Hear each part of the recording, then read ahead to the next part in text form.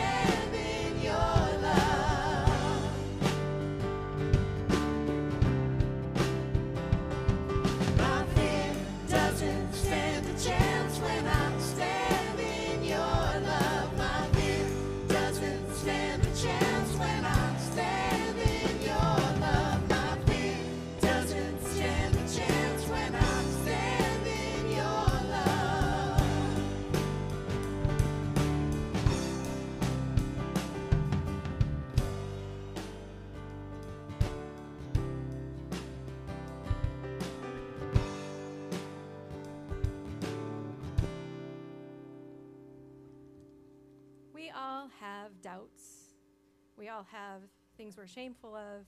We all have questions. And we fear. But just as we sang in that song, we just need to stand in the love of Jesus because he's got us. Please pray with me.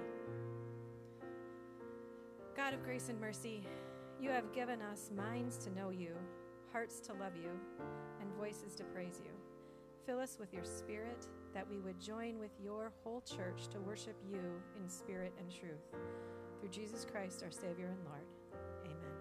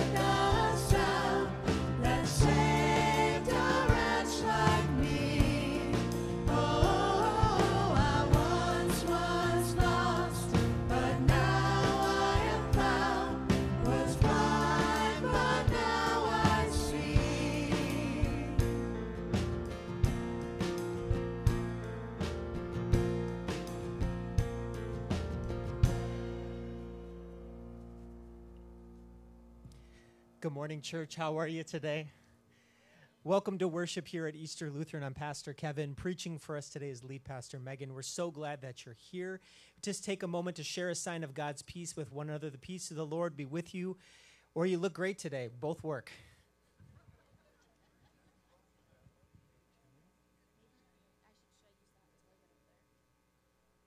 Can you maybe just so we could then you can take that because I know we're Yeah, sounds good.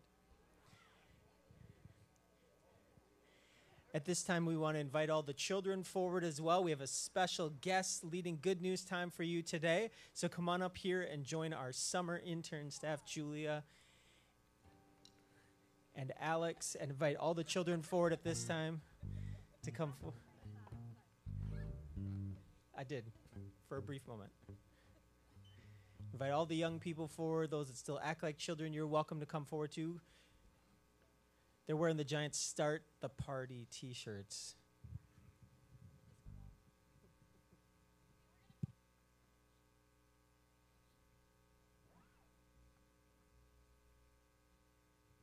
Okay, guys, we're gonna make our way like right up here.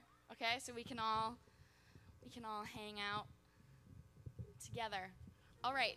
Who is now who is at VBS this last week? Okay.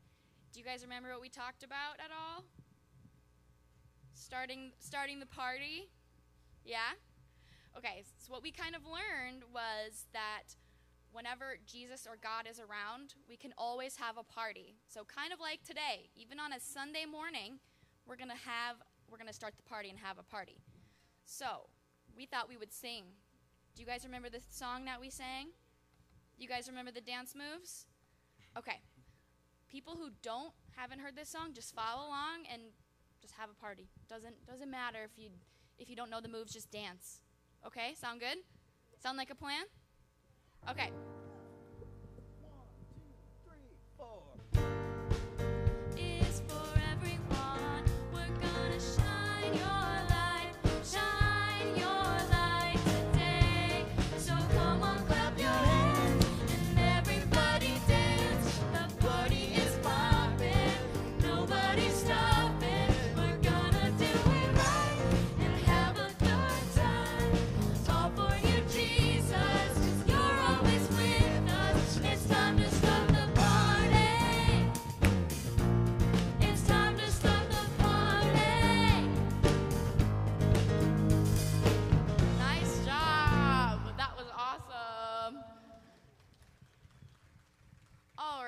Was some good dancing, but I think we need a little more energy. Can you give me more energy?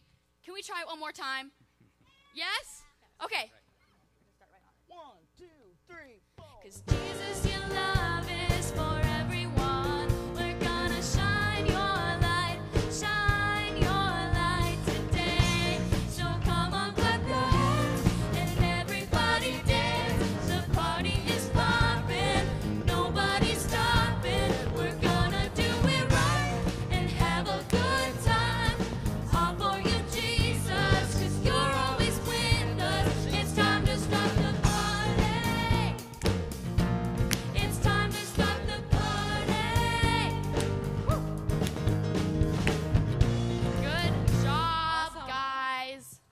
really felt the energy there.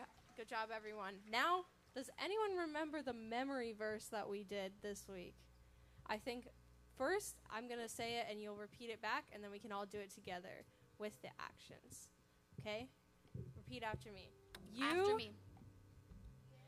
always show me the path Always show me the path that leads to life. that leads to life.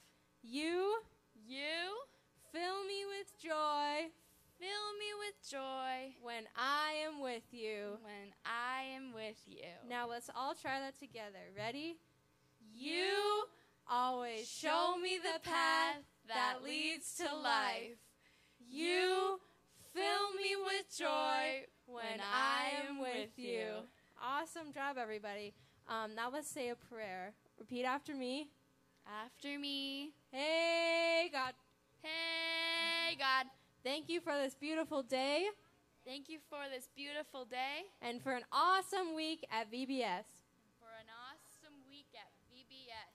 Thank you for starting the party Thank you for starting the party in our hearts. in our hearts. We love you. We love you. Amen. Amen. Awesome job, Awesome. everybody. Nice job, guys.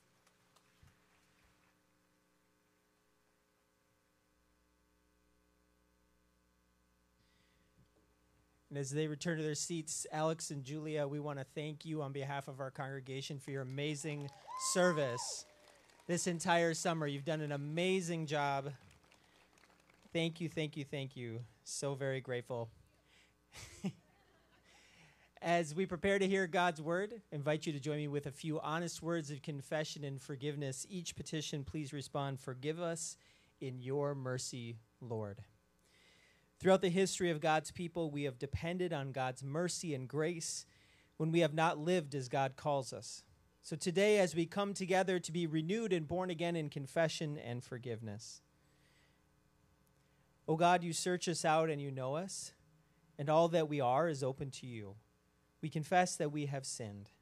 Forgive us in your mercy, Lord. When we make no room for Christ and fail to welcome him into our lives, forgive us in your mercy, Lord. When we judge each other so that we might feel more worthy, forgive us in your mercy, Lord. When we forget to welcome everyone into your promise of life and hope, forgive us in your mercy, Lord. When we forget the Pentecost gift of speaking your good news to all, forgive us in your mercy, Lord. We turn to you, O Christ, our Savior and Redeemer, and declare that we are ready for your mercy. Forgive us in your mercy, Lord. Jesus has come into a world to forgive sins, to show God's love, and to bring new life. In the name of Jesus Christ, you are forgiven. Thanks be to God. Amen.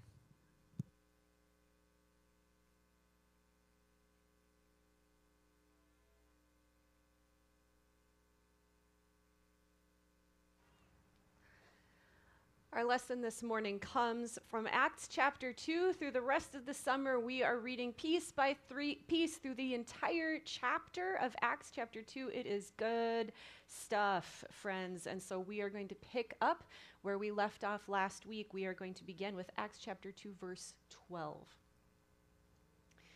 All were amazed and perplexed, saying to one another, What does this mean? But others sneered and said, they are filled with new wine.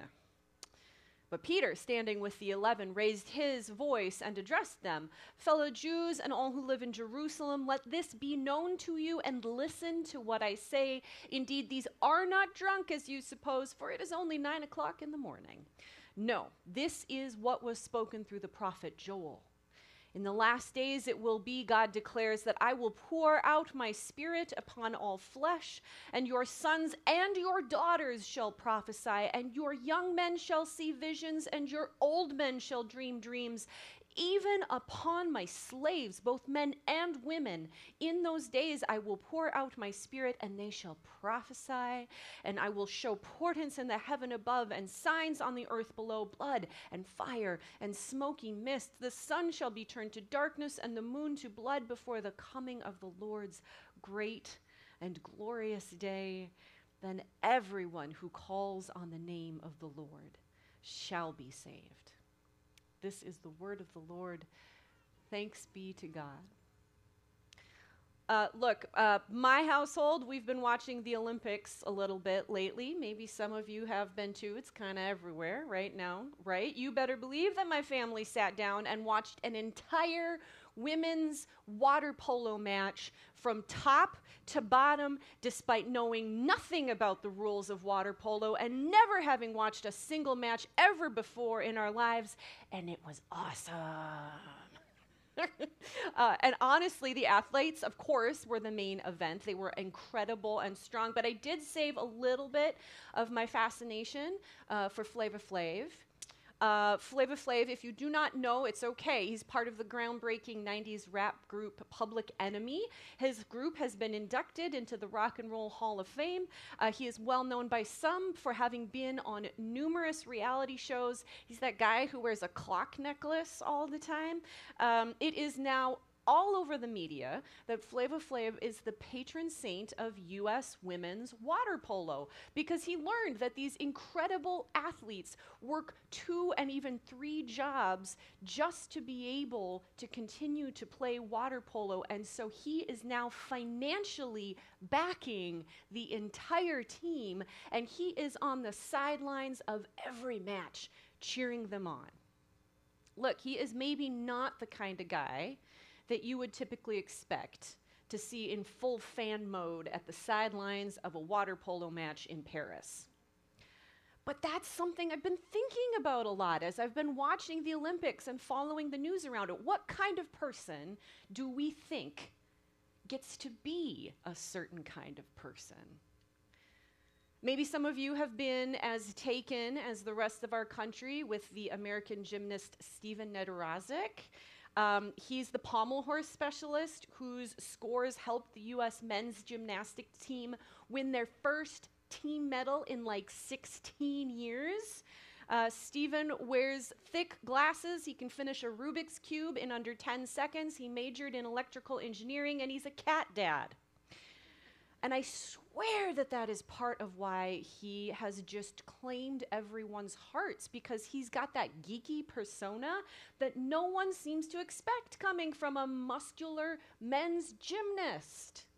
Or on the other side, there's Ilona Maher, who's on the women's uh, rugby sevens team, the women's uh, U.S. team.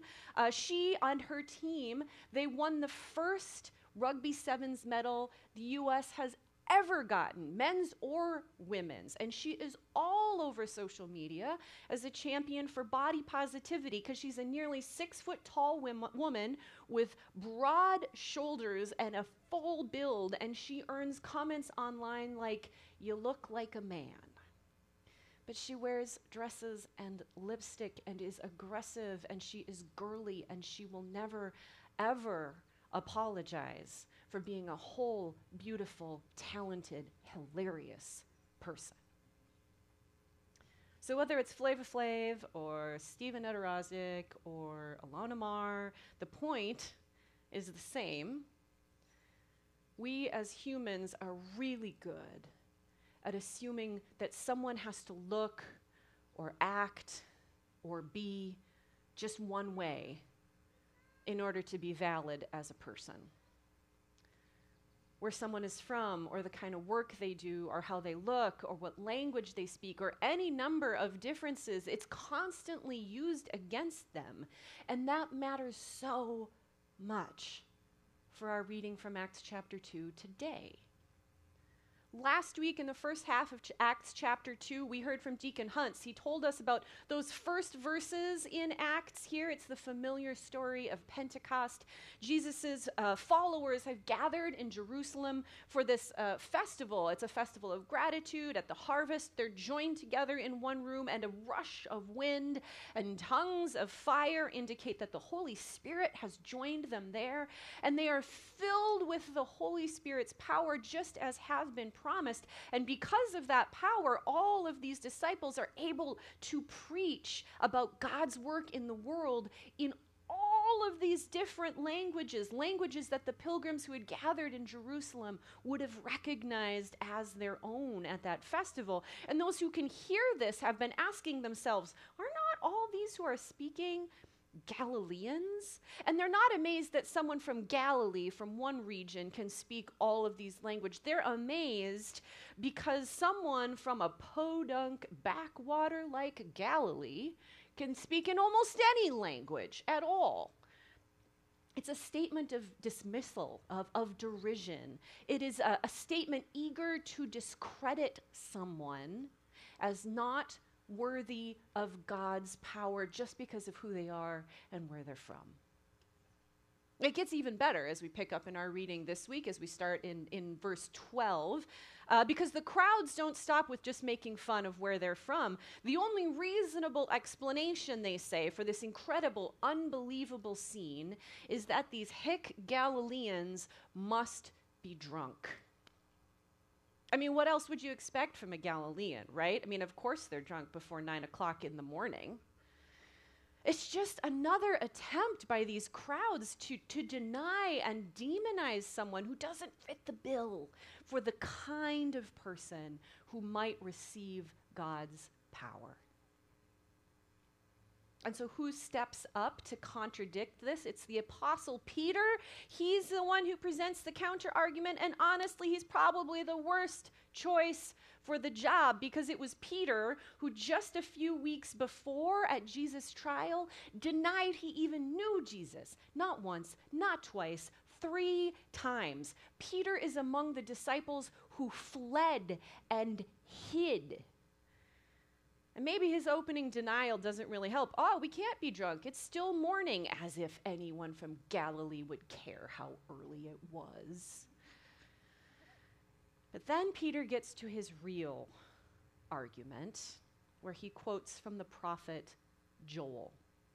Joel is one of the minor prophets in the Old Testament, so called a minor prophet, uh, not because it's less important, but because it's a shorter statement from a lesser known prophet. Almost nothing is known about the prophet Joel aside from what is in the words that he has written. Peter doesn't go and pick one of the more uh, well known prophets. Uh, he doesn't pick Isaiah. Even Jesus quoted from Isaiah, but, but Peter picks the prophet Joel. Why? Because listen to those words again. In the last days it will be, God declares, that I will pour out my spirit upon all flesh. All flesh. Humans of all kinds. Maybe not even just humans. All flesh. All living things, all of life will know God's power. And your sons and your daughters shall prophesy. So, sons and daughters. It explicitly lists them both. So gender does not matter in God's ability to speak through humanity. And then there's more. Your young men shall see visions, and your old men shall dream dreams. So, age doesn't matter. Whether you are old or young or anything in between, it does not matter for who God chooses to share God's power. And then it keeps going. Even upon my slaves, both men and women, in those days I will pour out my spirit, and they shall prophesy, even upon slaves who in this time were worth less than nothing, those whom society considered so worthless that they can be owned by other humans. There is no one too lowly or too unimportant or too forgotten to receive a full measure of the Spirit. This is what God does, Peter says. God always chooses everyone to receive God's outpouring of the Spirit. No one is the wrong age or the wrong gender or the wrong status or the wrong profession or the wrong body shape or the wrong ability or the wrong race or the wrong ethnicity or the wrong skill set or the wrong anything. There is no such thing as the wrong kind of person because God constantly demonstrates love and care to all people. No one is disqualified. No one is anything less than enough. God makes it true, so we're going to live it out. You're going to need to carry that with you, friends, that reminder. Because after the Olympics stop dominating the news cycle, we're going to go all the way back fully into an election season that is already as contentious and divisive as any we have ever seen. And you are going to need to remember that God works through all kinds of people, that God loves all kinds of people that we are Christ followers and that we are called to care for and work with and listen to and live with all kinds of people. No one can be dismissed. No one can be scapegoated. No one can be anything less than the full, beloved, valuable member of Christ's family that they truly are. And you're not just going to need to hold on to it through the news cycle, you're going to hold on to that truth as we as a congregation continue to work towards being one Easter at one site. Because for too long, we have told ourselves stories about each other. Hill people are too this. Lake people aren't enough that. Older members do too much of this. Younger families don't do enough of that. I'm tired of it. no more. There is not one kind of people. There is us as one community, one kind of people. We need to be under one roof so we can be face to face with each other and realize that we are indeed this big, weird, dynamic, wonderful community that doesn't look or think or act any one way except that we are all united under our mission to grow in faith and carry on the work of Jesus Christ, as we are living in community, as we care with compassion, as we worship with joy, as we learn with devotion and love with generosity, you are going to be tempted to write someone off because you've never seen someone like that at Easter before you are going to have to remember that each of us, no matter what site we've been worshiping at, or what style of service we prefer,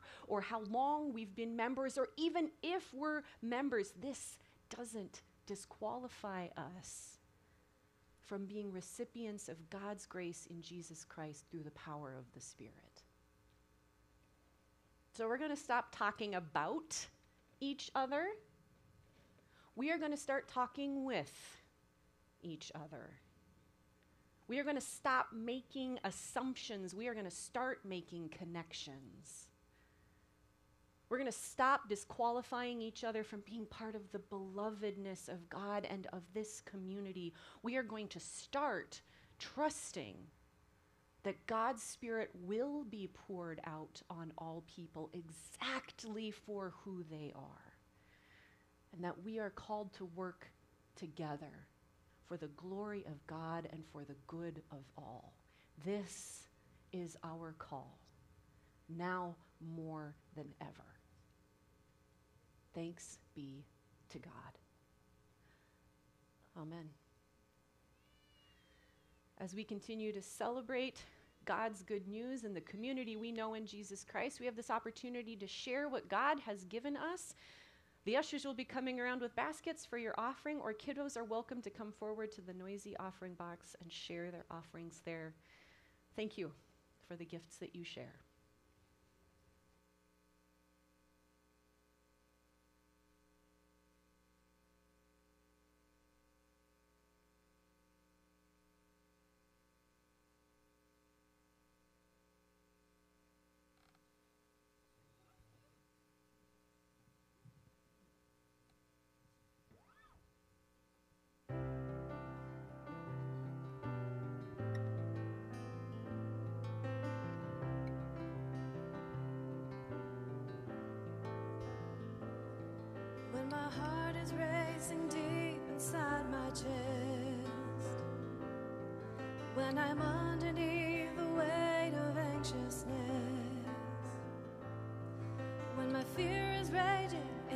Can't catch my breath,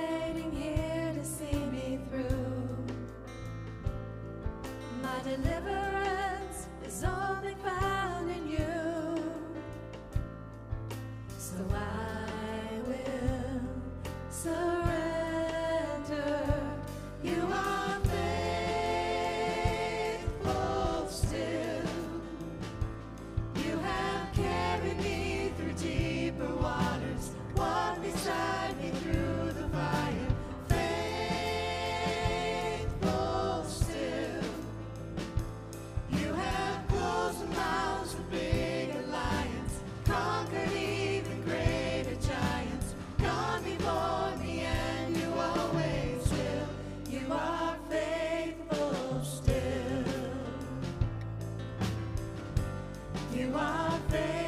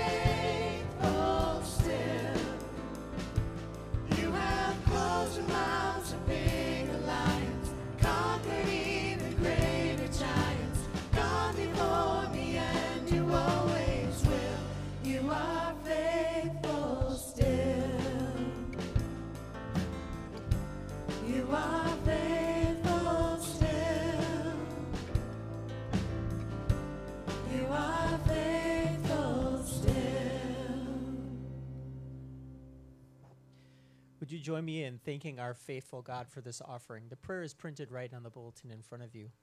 Would you join me? Blessed are you, O God, our Creator and Sustainer, whose blessings are without number and whose love is without end. Through the power of your Spirit, make us generous as you are generous. Through these gifts, may we all know your Son, Jesus Christ our Lord. Amen. Invite you to join me now as we seek God in prayer, each petition. Lord, in your mercy, hear our prayer.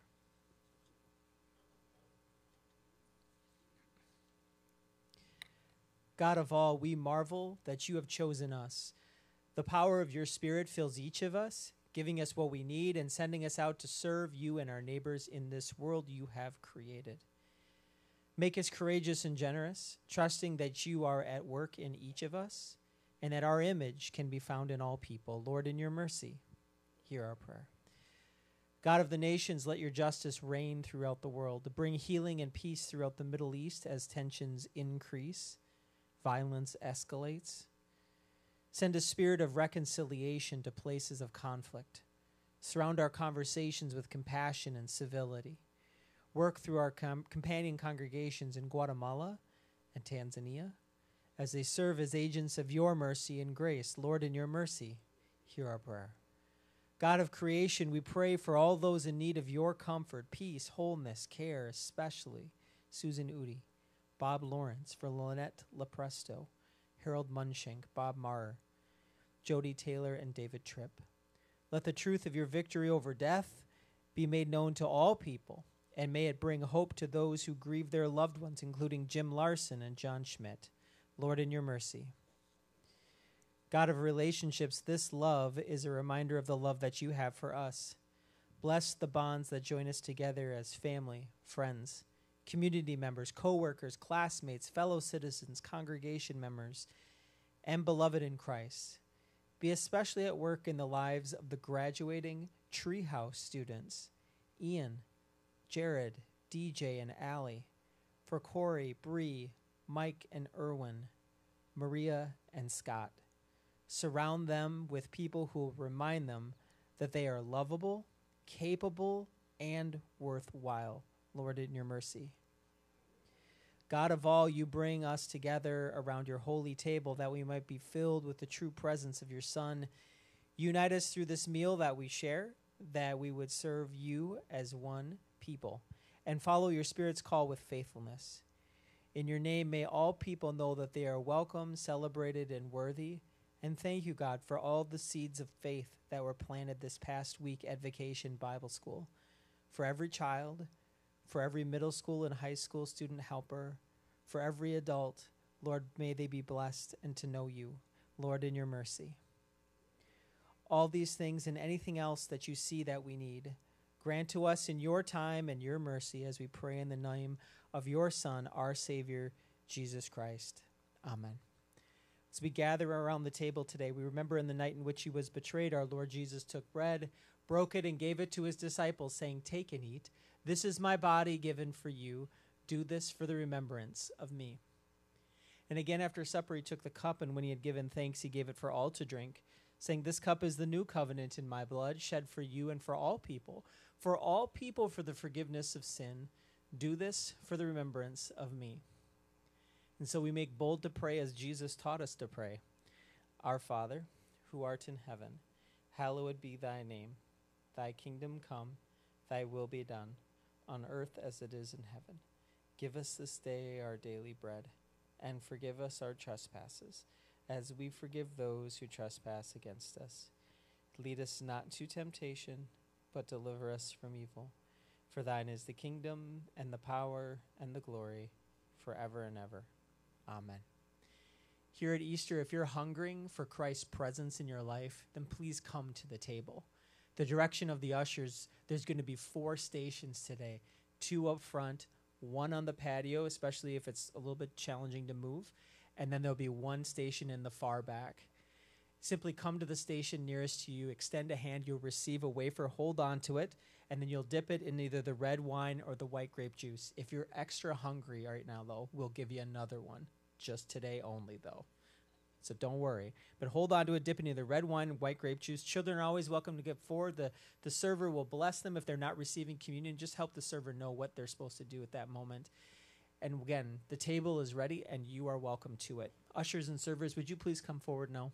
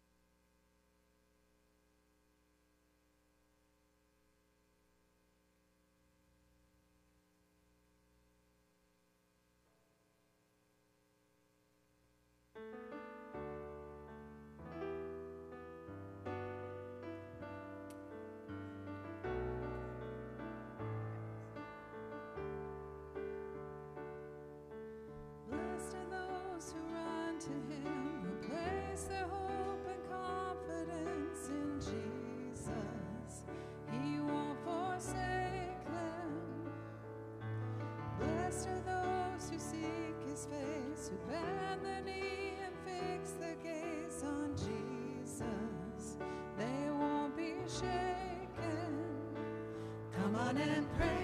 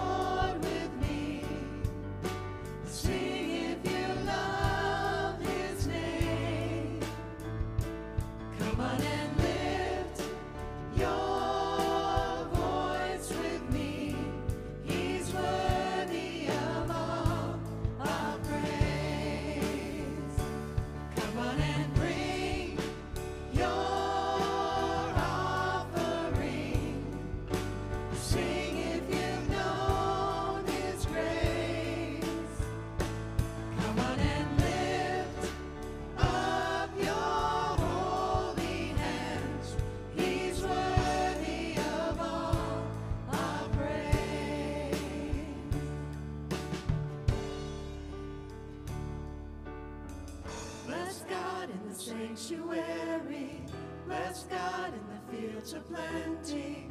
Bless God in the darkest valley. Every chance I get,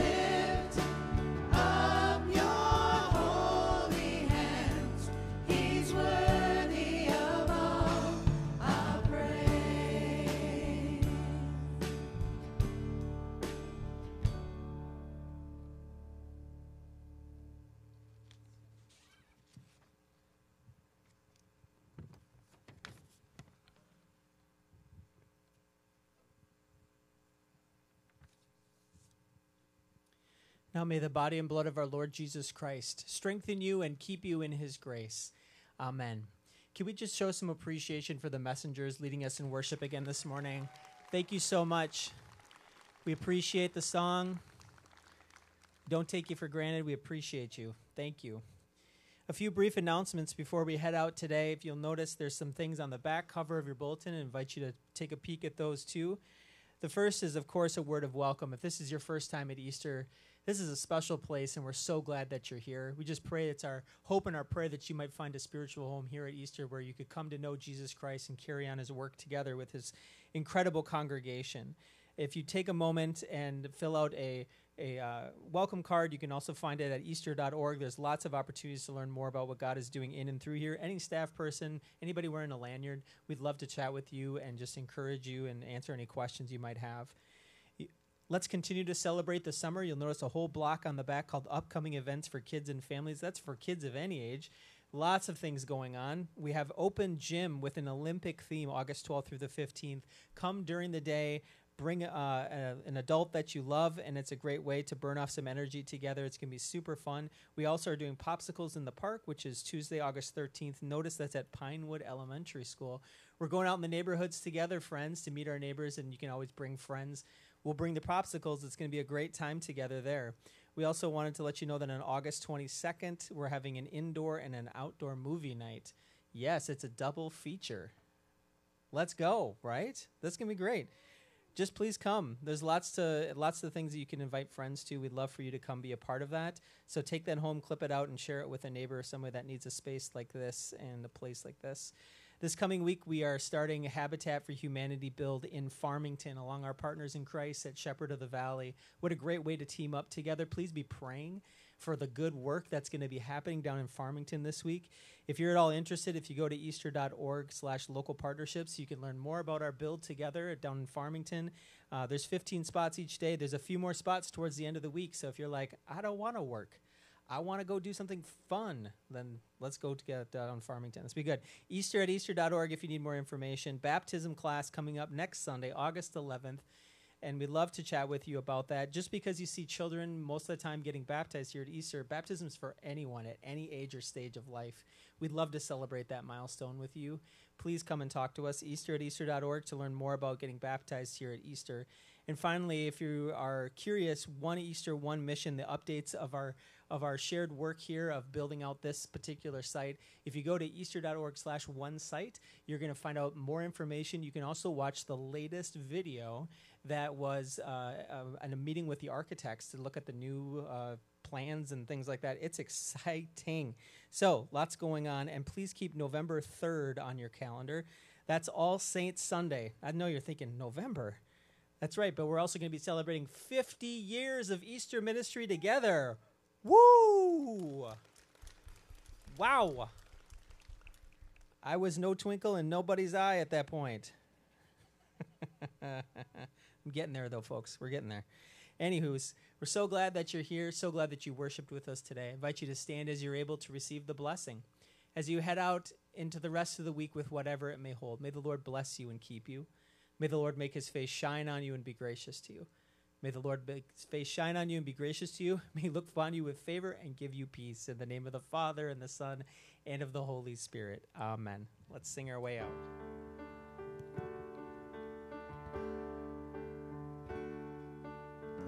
Bless God in the sanctuary.